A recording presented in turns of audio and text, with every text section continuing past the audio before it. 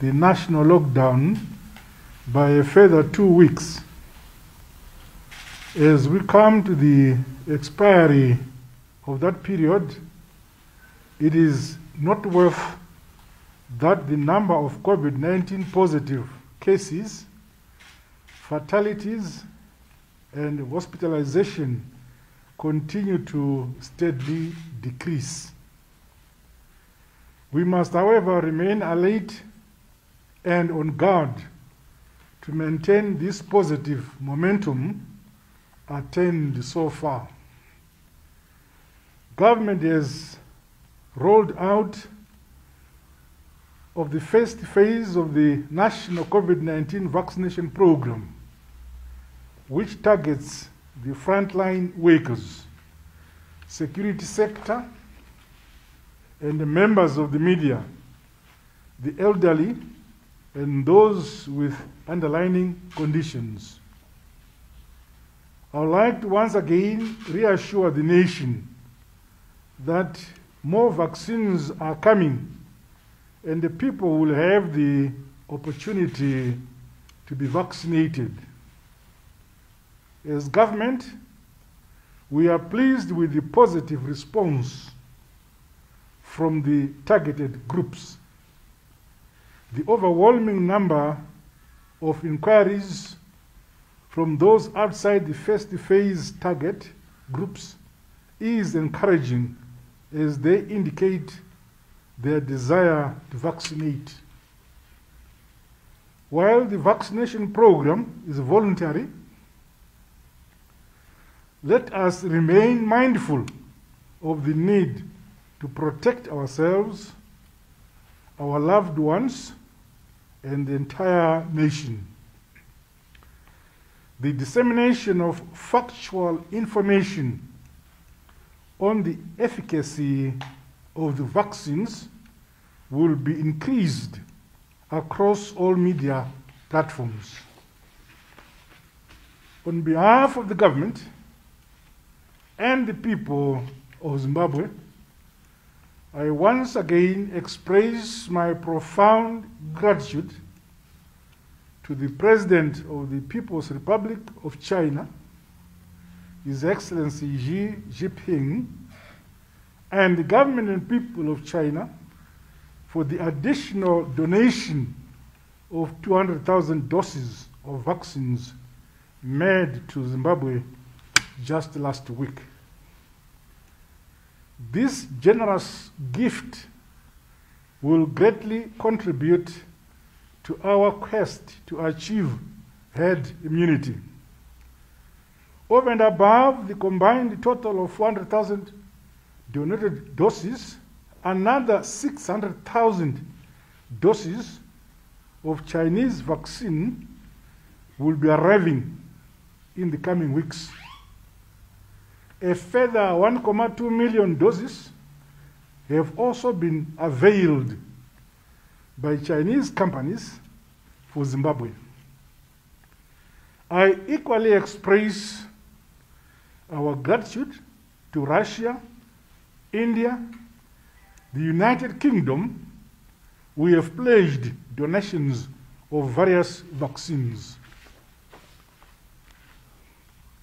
The vaccination will be administered for free.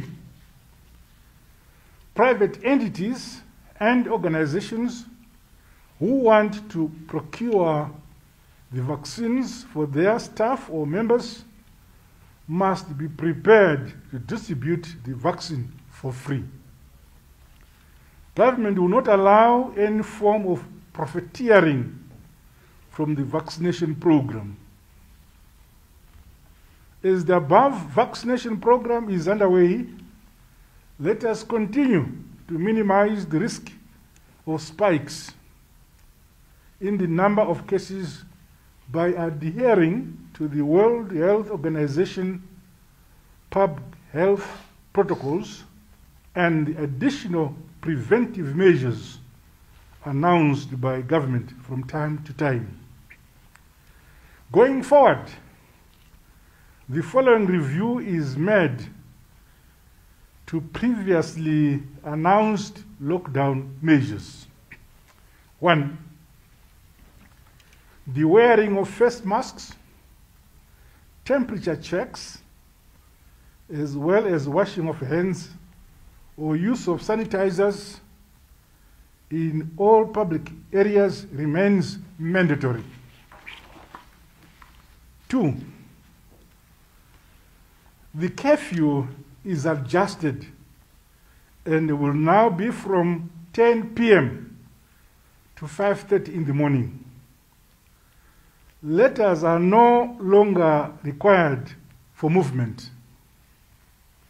Three, supermarkets can now remain open up to 7 p.m. to reduce congestion and must enforce social distancing within their premises. Four, industry to open with strict adherence to World Health Organization set standards and the national COVID 19 guidelines as such. The regular disinfection of premises, social distancing, hand sanitization, and the use of body temperature checks at entrances will continue. Non compliance in this regard will attract targeted closures of such entities. As per the previous announcement, SMEs, food markets, and informal sectors can reopen on condition that they strictly adhere to the World Health Organization set standards and the national COVID 19 guidelines. Five, education. Schools must prepare to open and put in place measures which observe the World Health Organization protocols and the national COVID 19 guidelines. Virtual learning or long distance learning is encouraged where possible. Universities and colleges must also prepare to open and ensure compliance with the World Health Organization protocols and national COVID 19 guidelines. Virtual learning or long distance learning is equally encouraged where possible. Non compliance to the above requirements will attract targeted closures of the respective institutions. Six, intercity travel can now resume.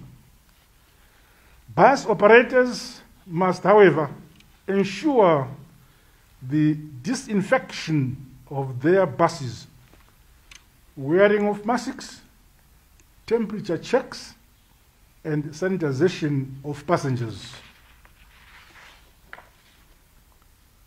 Social gathering, funeral gatherings to remain at 30 people. Other social gatherings shall not exceed 50 people. Restaurants can open only for takeaways and deliveries, no sit ins. Beer halls, Mabawa, bars, nightclubs, gymnasiums remain closed. Bottle stores must strictly operate takeaways as required by the law. A statutory instrument will outline in detail the above measures. Allow me to conclude by urging all of us to remain focused, responsible, and united as we continue on our national journey to grow the economy and improve the quality of life of all the people of our beloved country. God bless you all. God bless Zimbabwe. I thank you.